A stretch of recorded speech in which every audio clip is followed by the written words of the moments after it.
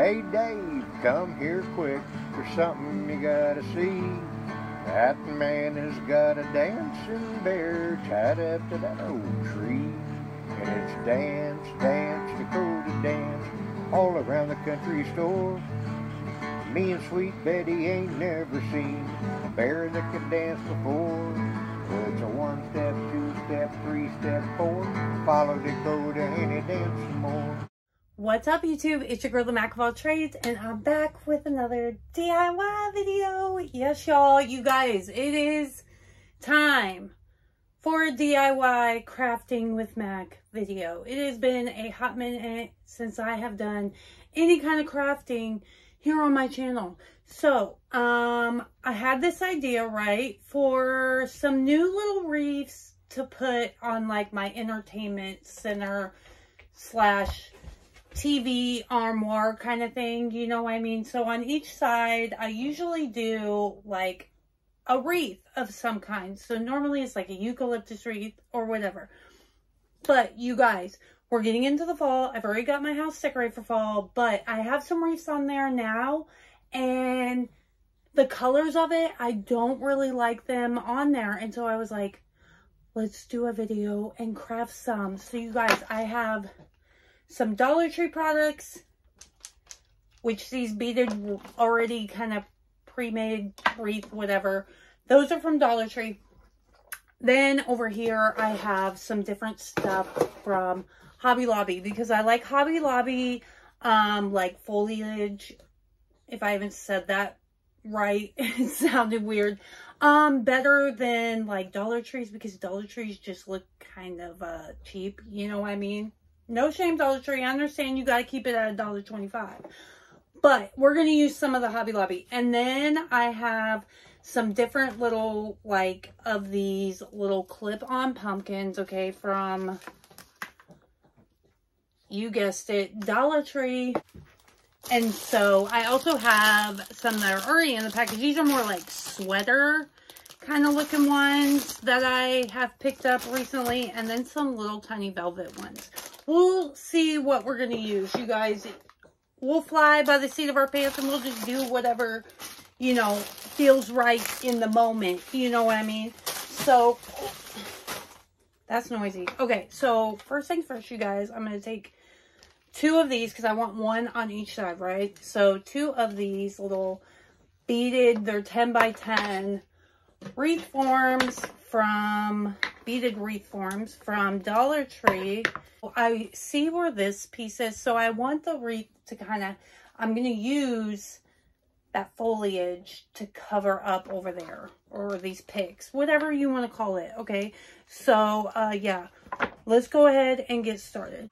Okay, so the first thing I'm going to use on this wreath is this little pick of leaves that I picked up from Hobby Lobby. It was 40% off of the $2.99. And I'm just going to cut this down because we don't need all that extra stuff. Get this tag off of here, of course. So here where this part is at, you see that where it comes together.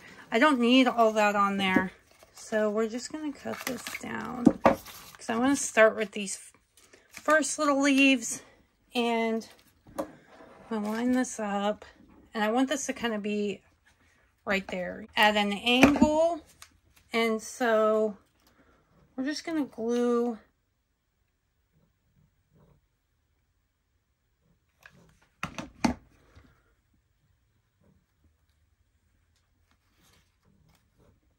this part down on top of there. Then I'm just going to cut this one down because we don't, I don't need all of that part on there. I think I might even cut that part off. We're going to use one of the two of these. I'm not sure which one yet. This bigger one, which we won't need that part. And I'm going to put some glue on the back of this leaf.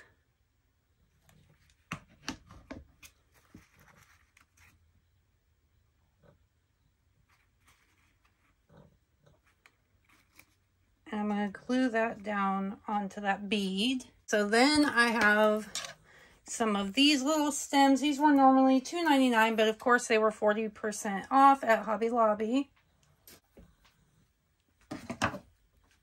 And I'm going to cut this down as well. And I'm going to glue that one down.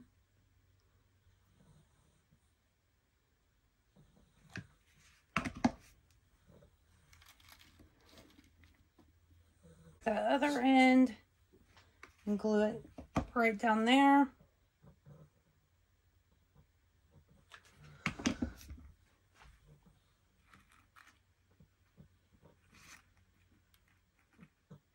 Okay, and then I have one of these little picks. This was $1.99 with 40% off at Hobby Lobby. And for this one, since the stem on here is metal, we're just going to wrap this one around.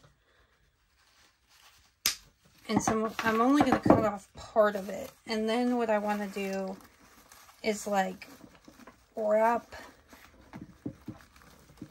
this one around here so that it will stay in place. So we've got that right there. And then I want to add like a little pumpkin on there. So I think the best size will be these ones to add on here. And so we're just going to take one of those and I want to stick it right in there.